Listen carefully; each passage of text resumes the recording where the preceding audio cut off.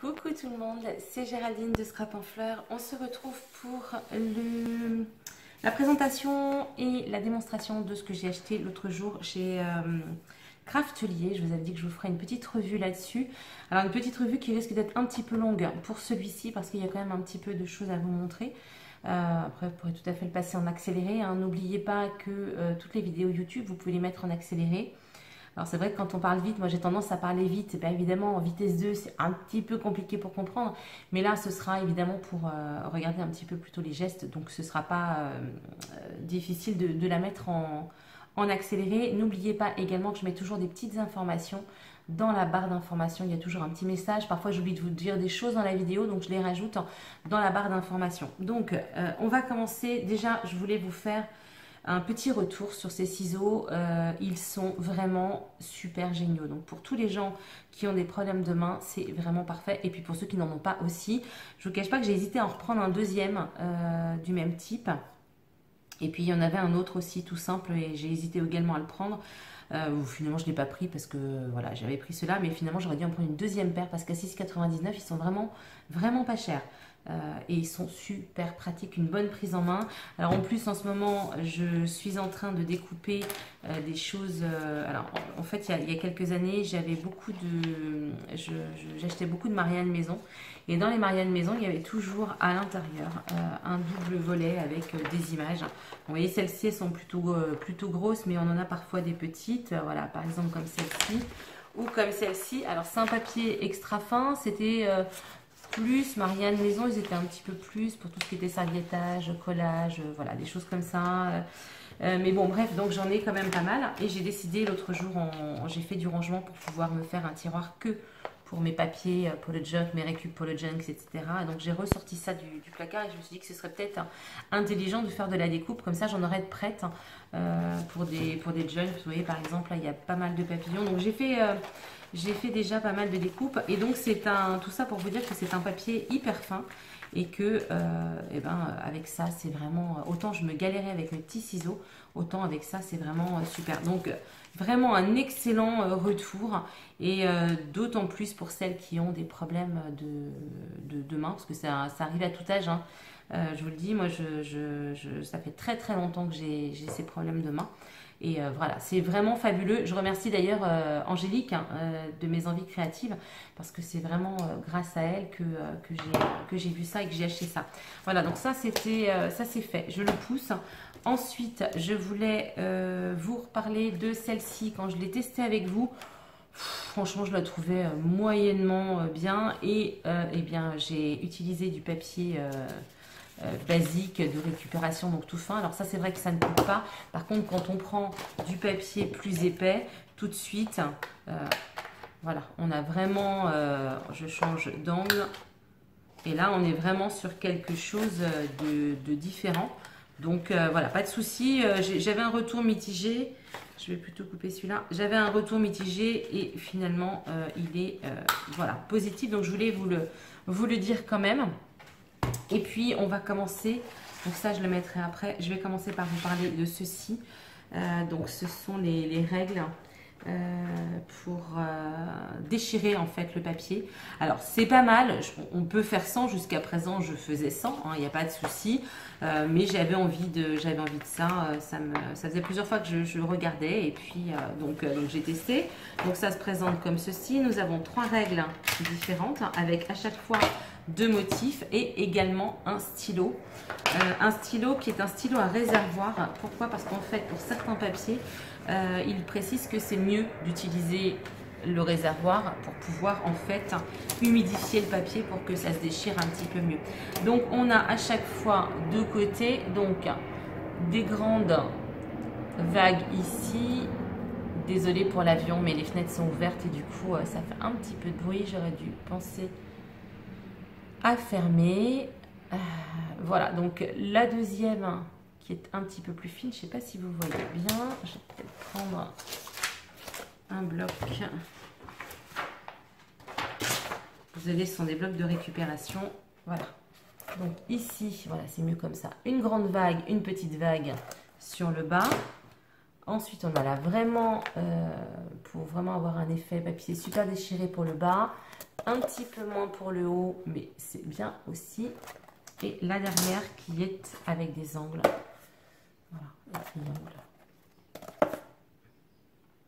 Donc c'est pas mal. On va faire une petite démonstration. Alors je vous ai déjà fait des petites choses. Attendez, je vais enlever ça. J'ai déjà fait des petites choses pour vous montrer un petit peu donc les tests.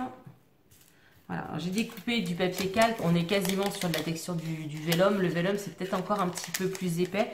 Mais bon, donc c'est pas mal. Alors, j'ai découpé euh, de mémoire avec euh, celle-ci. Voilà, avec cette règle-là. Donc, celle qui est vraiment très, très, très déchirée. Donc, on a euh, des bords pas faciles pour vous montrer. Donc, si je vous mets là-dessus, vous ne verrez pas non plus. Voilà, c'est pas facile, enfin c'est pas facile, si si c'est facile, mais il faut vraiment guider en fait le papier si vous voulez qu'il se déchire correctement. Donc pour ça, j'ai utilisé le stylo. Donc voilà, ça me permet d'avoir une belle découpe, sauf que après, eh ben, évidemment, mon vélum, il est gondolé. Donc euh, bon, à tester euh, autrement, alors c'est vrai que c'est pas du vélum, hein. je, maintiens que c'est du calque, même si c'est quasiment similaire. Mais, euh, ou alors quand vous le coupez, n'oubliez pas tout de suite de le mettre sous un, sous un, livre ou quelque chose pour qu'il reste aplati en séchant. Donc voilà, ça c'est les petits tests que j'ai fait tout à l'heure. On va les refaire ensemble de toute façon.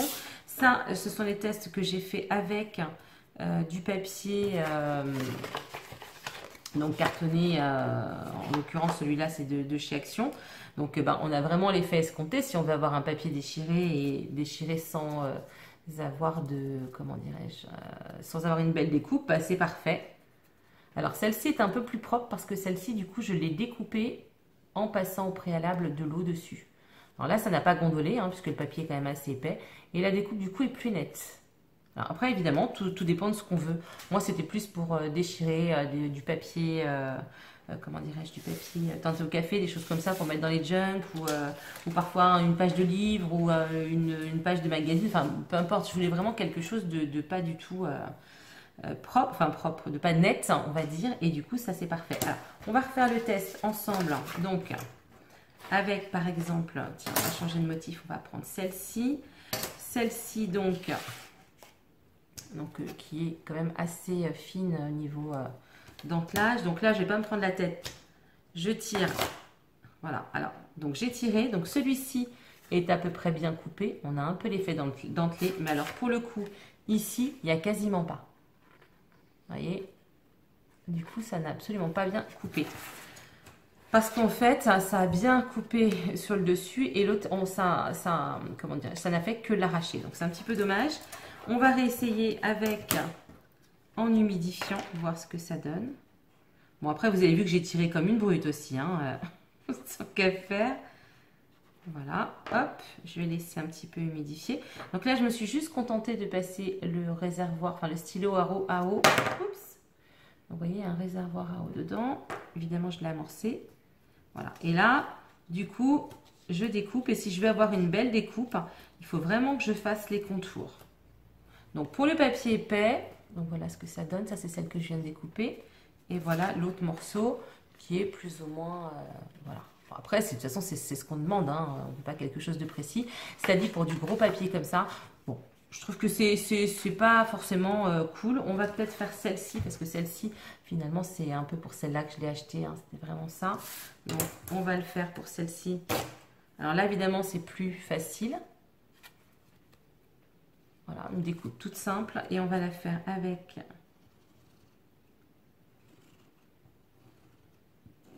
l'humidificateur, voir ce que ça donne. Voilà, bah, c'est pas mal aussi.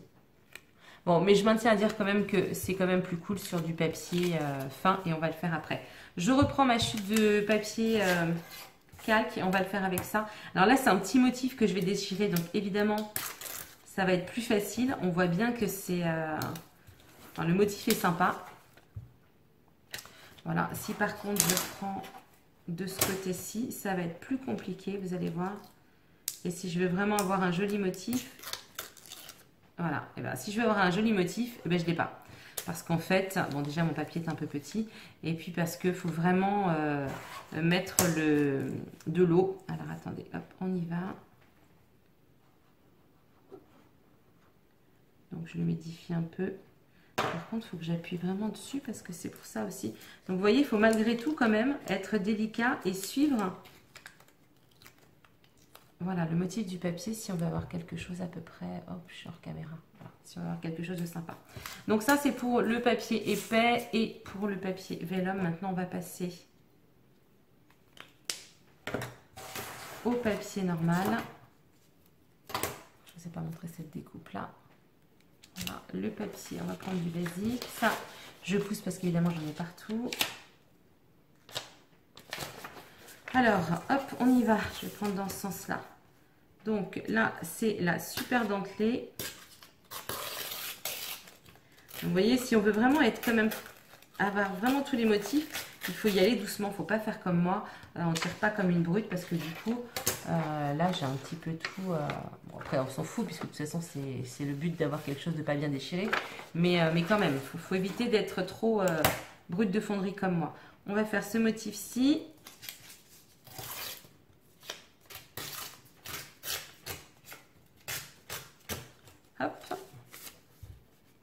Donc évidemment plus facile avec ce papier. On change. Comme ça, vous vous, rendrez vraiment compte de euh, si c'est une bonne, une bonne acquisition ou pas. Alors, c'est pas mal. Je pensais que ce serait. Enfin, pas mieux, mais... Euh, ou alors c'est moi qui m'en sers pas forcément bien. Mais vous voyez, si je veux vraiment avoir un papier euh, déchiré, je suis obligée d'y aller doucement.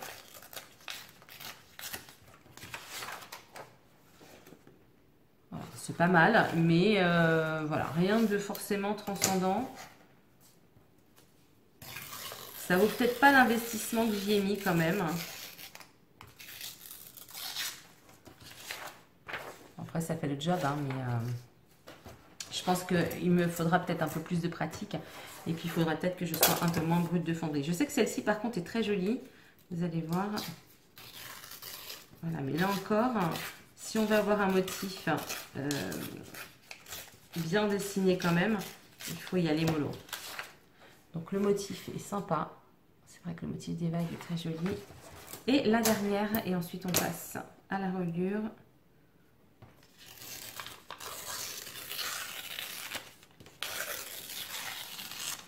C'est vrai que quand on va doucement, c'est quand même plus sympa. Donc voilà, ça c'était pour les euh, Tears Guide, les règles donc de découpage. Voilà, je mets tout ça de côté et on va passer donc euh, à ce petit produit euh, qui est donc le Book Binding Guide, qui est donc un, guide pour faire de la reliure. Euh, reliure japonaise, mais pas que, ça va être une reliure traditionnelle et également reliure japonaise. Euh, donc, ça se présente comme ça. Nous avons la notice d'utilisation. À l'intérieur, on a un petit pochon. Le support qui va nous permettre à faire des trous. Va nous permettre de faire des trous, pardon. Et à l'intérieur de cet étui, nous avons un pic qui va nous permettre de perforer ici une bobine avec du fil. Ah, j'ai du mal à l'ouvrir. Voilà, une bobine avec du fil. Alors ça, c'est du fil spécifique. On dirait que c'est un coton ciré. Oui, c'est un coton ciré fin. Pour faire donc cette reliure. Moi, je vais pas utiliser ça, mais, euh, mais bon, peu importe, le principe est le même. Ensuite, on a une aiguille ronde. Je sais pas si vous allez voir. Enfin, ronde en demi-cercle, pardon. Et ensuite, on a une aiguille, type aiguille euh, à broderie en fait, avec un grand chat et puis un bourron pour, euh, enfin, semi-rond pour faire donc cette, euh, cette reliure. Alors celle-ci, moi je vais pas l'utiliser avec vous. On s'en sert pour la reliure copte, mais on a un petit peu le même genre aussi pour, pour relier le cuir. Donc ces aiguilles en, demi-cercle. Là, on va pas, enfin, je vais pas l'utiliser avec vous. Euh, parce que la rayure copte c'est un petit peu plus compliqué. Euh, ça implique de, par exemple, d'avoir plusieurs cahiers. Hein, je suis hors, champ, pardon. D'avoir plusieurs cahiers et de venir relier ces cahiers euh, avec une, reliure un petit peu compliquée. Mais vous trouvez, de toute façon, toutes ces reliures. Vous allez avoir des idées sur Internet. Je vais fermer la porte. Voilà, on s'entendra un petit peu mieux. Donc voilà, vous, vous trouvez toutes ces reliures En explication, il doit y en avoir sur YouTube, il y en a euh, sur Pinterest en images, parce qu'en fait la reliure japonaise, il y a plein plein plein de motifs différents. Là, on va faire une reliure toute basique, hein, parce qu'évidemment, j'ai pas eu le temps vraiment de me pencher là-dessus. Euh, mais euh, il y a plein de motifs différents, donc c'est vraiment un truc sympa pour faire des petits cahiers, pour faire tout un tas de petites choses. Donc, voici l'outil qui se présente comme suit, deux possibilités de, de perçage. Là, c'est pour la reliure traditionnel. On va commencer par ça. En fait, honnêtement, moi avant, j'utilisais donc euh, ce genre d'outil avec un gros, euh, une espèce de tapis mousse de, récupération que, j'avais trouvé. Euh, et là, eh ben, en fait, ça vous permet d'avoir directement la possibilité de faire votre lieu. Alors, j'ai pris une chute de papier, j'ai pris des chutes de papier d'imprimante. J'ai mis ça ensemble. On va faire un petit perçage ici pour faire une, couture euh, vraiment euh, toute, euh, toute bébête. Donc on y va. Alors je dévisse ici parce que je vais avoir besoin de récupérer ça. Donc en fait c'est tout simple. On a un premier côté qui est, je ne sais pas si vous le voyez, mais qui est légèrement incurvé donc vers l'intérieur, qui va nous permettre de faire les reliures, les trous pour les reliures centrales. Et ensuite, ici, on a des trois rangées de trous qui vont nous permettre, en fait, de faire les trous en fonction de nos motifs euh, pour la reliure. Alors là, on n'a que trois rangées, mais après, je pense qu'en déplaçant le papier, vous pouvez faire des motifs un petit peu plus euh, compliqués en fonction de, la reliure que vous voudrez faire, bien sûr. Je ne suis pas très... Euh, voilà, ce sera peut-être mieux comme ça. Donc, nous, on a besoin, là, tout de suite, d'avoir ça. on a besoin d'utiliser ça. Et du coup, je suis obligée de le mettre à l'inverse puisque celui-là, il est légèrement biseauté sur le dessus. Donc, pour utiliser ici, il faut que je le retourne pour que mon papier soit bien plaqué. Alors, on y va. Je positionne mon papier. Alors, il faut que je le positionne en fonction... Déjà, si je mettais ça, je vais mettre des petites pinces juste pour éviter que ça bouge. Après, chacun fait ce qu'il veut, mais voilà, hop. Mes petites pinces à couture. Donc ça, c'est bon, je suis tranquille, je suis bien centrée. Donc je positionne ceci, je positionne ceci. Donc est-ce que mes trous vont me convenir? Ah Ouais, c'est pas mal. Hop. Si vous voulez que ce soit bien fixé, vous mettez la vis. J'en ai perdu une. Elle est là. Donc comme ça, on est bien au centre. Et voilà, vous n'avez plus qu'à faire vos trous alors, là, j'ai mis beaucoup de papier. J'aurais peut-être dû en mettre un petit peu moins. Donc, j'en ai fait un ici. Je vais en faire un là. Ici. Voilà, moi, j'ai voulu optimiser, mais euh, bon. Et voici mes trous. jusque là, vous me direz, ouais, bon, ben, je les faisais d'abord avec ça avant, pas de souci. C'est vrai que ça permet d'avoir des trous avec un, espacement bien précis sans prendre les mesures. ça, c'était un petit peu ce qui me gavait. Souvent, je les faisais, euh, ils euh, ils n'étaient pas forcément bien, euh, bien alignés. Là, c'est vrai que ça permet en fait d'avoir quelque chose de bien, de bien aligné. Ensuite, une fois que vous avez vos trous, bien, c'est tout bête. Vous enfilez l'aiguille, enfin le fil sur l'aiguille. Alors, comme je vous disais, moi j'ai pris du coton à broder. C'est peut-être pas la meilleure idée que j'ai eue. Parce que pour enfiler, c'est le merdier. Bon, je vais le faire hors caméra, je reprends tout de suite. Voilà, donc c'est fait. Et puis ensuite, bien évidemment, il ne vous reste plus qu'à coudre votre reliure comme vous le souhaitez. C'est pas comme ça que j'aurais dû faire. Voilà par contre, là, j'ai quatre trous. Du coup, je me suis mal débrouillée. Enfin bon, bref. Vous aurez compris le principe. Vous passez votre fil dans les trous et vous faites votre couture. On va s'arrêter là. On va passer à l'autre, puisque l'autre, c'est vraiment euh, plus important. Alors, j'ai oublié de vous parler de ce petit euh, livret qui est à l'intérieur. Donc, vous avez quelques explications. Et euh, notamment, donc ça, c'est pour la couture classique. Hein. c'est ce qu'on fait en général lorsqu'on fait une reliure traditionnelle. Et ensuite, vous avez une explication pour la reliure copte. Alors ça, ça a l'air assez compliqué. Hein. Comme je vous ai dit, je ne l'ai pas testé puisque ça nécessite, euh, je ne sais pas si vous avez bien comprendre, en fait, ça nécessite, ici, peut-être sur cette photo-là, vous allez le voir, euh, ici, on a en travers les livrets qui sont représentés. Donc c'est un empilement de livrets. Chaque livret est cousu, donc avec une première couture et puis une seconde, etc. Et vous venez en fait relier. Euh, donc vous voyez, ça c'est le premier cahier par exemple que vous avez cousu. Et ensuite vous les empilez et vous les recousez. Ce qui fait que quand vous avez ici 4, euh, 5 ou 6 cahiers, vous avez l'empilement. Euh, donc voilà, ça c'est uniquement pour coudre des, des petits cahiers entre eux. On voit souvent cette couture, souvent sur des, sur des livres. Enfin, vous voyez que si vous désossez le livre, mais voilà, sur certains livres, vous avez cette, cette reliure copte. Et ensuite, quelques motifs de reliure japonaise. il y en a plein d'autres. Hein. Là, on est sur des motifs simples. Et euh, avec ces motifs-là, ils vous disent en fait comment ensuite percer par rapport au dessin que vous voulez ici. Bien évidemment, à vous d'espacer la largeur. Nous, on va faire cette, cette reliure toute bébête. Mais après, libre à vous d'espacer ou pas euh, vos, euh, vos, trous, bien sûr, comme vous le voulez. Moi, je vais essayer de les espacer pour pas que ça dure euh, de plomb, hein, bien sûr. Alors, je change. J'ai tellement Je change de... Donc, j'ai préparé des petits papiers. Je vais déjà commencer à faire les trous. Je l'ai fait en deux fois, pour, euh, tout simplement pour qu'il n'y ait pas trop d'épaisseur, pour que je puisse faire mes trous tranquilles.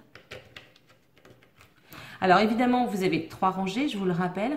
Vous pouvez faire une toute petite reliure, une moyenne ou une grosse. En fait, c'est ce qui va, je vous ai montré, j'ai fait un exemple ici. C'est ce qui va, euh, comment dirais-je, donner votre euh, largeur de reliure. Donc là, c'est un tout petit carnet, donc je vais en faire vraiment une toute petite. Donc je vais me baser sur le premier comment dirais-je, euh, le premier guide et je vais faire des trous. Donc, alors j'en ai fait un ici, je vais en faire un là, un ici, un ici. Et du coup, je vais en faire un là. par contre, je vais pas être... Ouais, bon, ça va pas être très droit. Mais bon, c'est pas grave, c'est pour vous montrer un peu l'idée. Donc, de... Ouais, celui-là, il n'aurait pas dû être là. Enfin, c'est pas grave. Donc, même chose hein, pour celui-ci, du coup. Par contre, il faut que j'essaye d'être quand même bien en face. Pour que je puisse, de l'autre côté, avoir... Donc, vous positionnez. Moi, je vais me servir de ça pour avoir... Pour savoir si je suis en face. Comme je le fais en deux fois. Euh, ouais, c'est bon. Hop, je serre. Vous êtes bien en face parce que je ne me rends pas compte. J'ai un peu changé. Comme je ne suis pas à mon bureau, j'ai changé de place. Et du coup, alors j'ai dit que je faisais un premier trou ici. Ensuite, mon deuxième est là. J'ai mis un peu trop de papier quand même. Hein. Top, mon troisième est ici. Et mon dernier. Voilà, donc les trous sont faits. Déjà, on a bien avancé. Je vais pouvoir mettre mes deux cahiers ensemble et on va commencer la reliure. J'enfile le fil à part et je vous reprends. Alors juste une petite info, j'ai choisi donc ce fil là pour que ce soit plus facile pour vous pour me, pour me voir coudre. Et euh, j'ai pris cinq fois, la, un peu plus de 5 fois la longueur de mon, de mon papier. J'espère que j'aurai assez, je ne sais pas, je vous dirai ça quand on aura, quand on aura fini. Allez, à tout de suite. Ça y est, j'ai passé l'aiguille, heureusement que j'ai fait ça... Euh, hors caméra parce que le matin vous y étiez encore. Euh, donc pour euh, relier mes deux, petits carnets que j'ai perforés, je me suis aidée de mon, de mon poinçon qui est là. Comme ça, ça m'a permis de tout remettre en place. Donc j'espère que ça va l'être. Et puis de mettre des petites épingles. Des petites pinces. Alors on y va. Attendez, je vais enlever ça, ça va pas être pratique. Donc mon aiguille et mon fil. Donc je suis au deuxième trou. Alors évidemment après euh, vous commencez comme vous voulez mais euh, en tout cas il y a quand même un sens. Donc il faut que je le fasse face à moi sinon ça va pas aller. Donc je le passe. Donc je suis au deuxième trou. J'espère que je suis en face, oui. Donc je le passe en dessous. Je tire mon fil. Donc vous voyez quand le fil est un peu épais, c'est la galère. Donc j'en laisse dépasser un morceau que je vais caler sous ma pince parce que bécasse comme je suis, je risque de tirer dessus. Voilà, donc il est calé. Donc voici. Je le passe en dessous encore. Alors je ne sais pas si vous allez bien voir. Donc je le passe. Donc je suis venue piquer à l'arrière. Je, suis, je ressors sur le devant. Je le positionne ici en fait puisque je veux fermer en fait cet endroit-là. Ce qui fait que je repique en dessous. Mon fil donc ressort ici.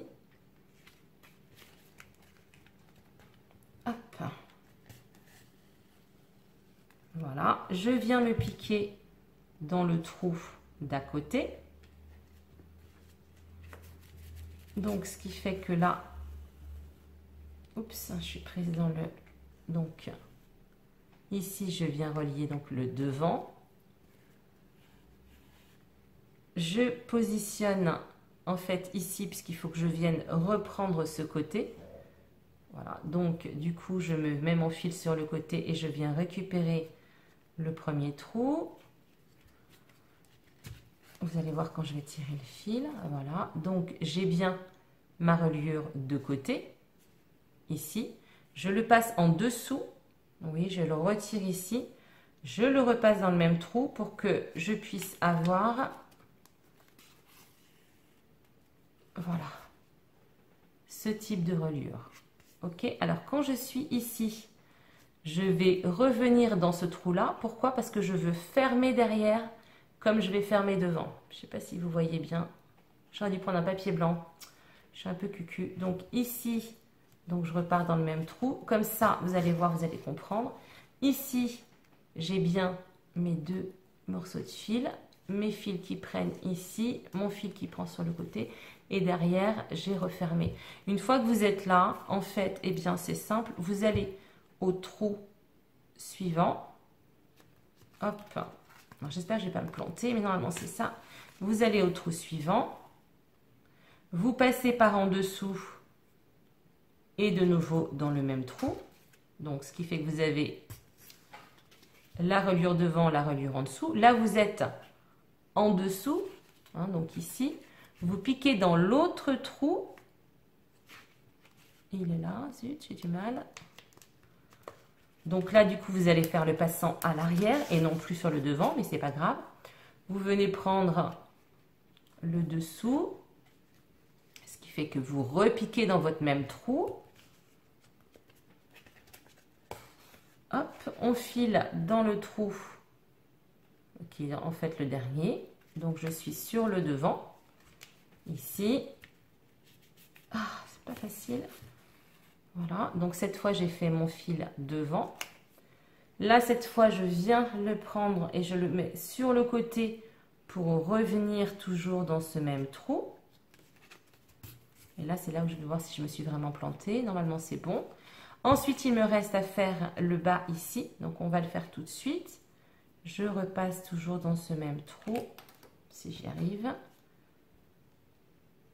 J'espère que vous voyez bien. Pas facile. Ah, merde.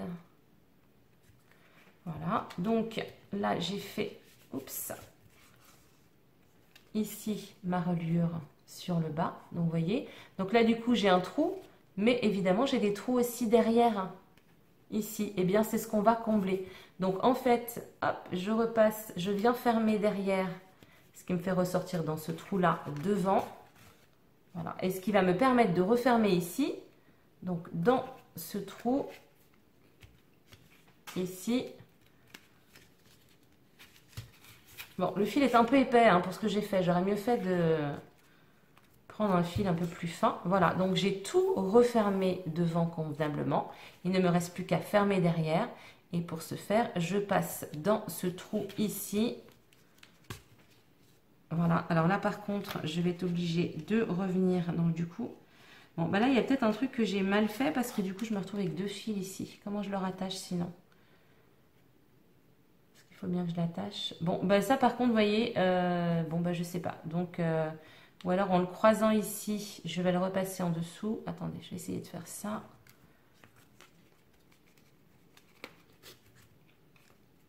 Je suis en train de trop serrer, merdouille.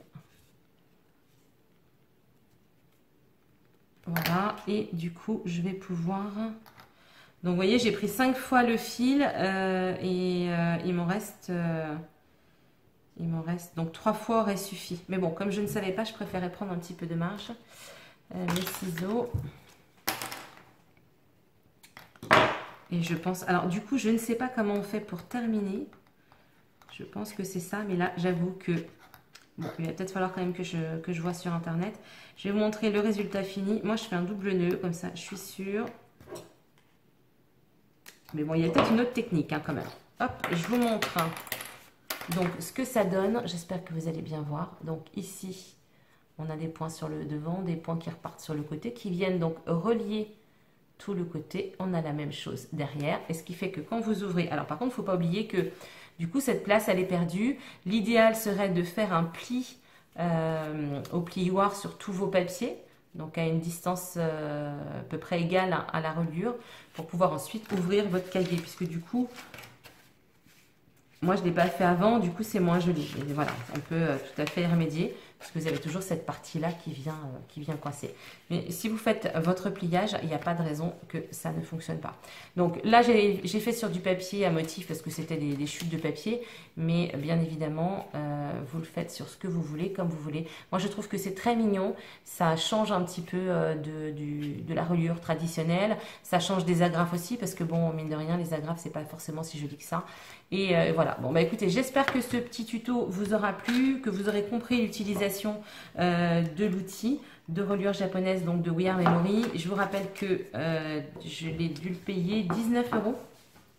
Mais euh, il y a toujours une petite promo sur le site de Craftelier sur tout ce qui est We Are Memory. Franchement, je regrette pas mon achat.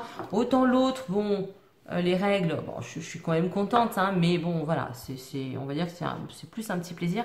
Euh, ça, je sais que je vais m'en servir et je suis donc très contente de l'avoir acheté. J'espère que je vous aurai donné envie de tester la reliure japonaise. Bien évidemment, vous n'êtes pas obligé d'acheter euh, cet outil-là avec un simple picot et puis un peu de patience et un bon tapis de mousse. Vous pourrez tout à fait faire votre reliure vous-même. Mais là, l'avantage, c'est que c'est vrai qu'on a quand même les guides avec les trous de perçage, avec des distances vraiment précises. Donc, c'est quand même, c'était quand même un peu plus pratique. Bon, bah écoutez, je vous dis à très vite. Euh, portez-vous bien. À bientôt. Bye.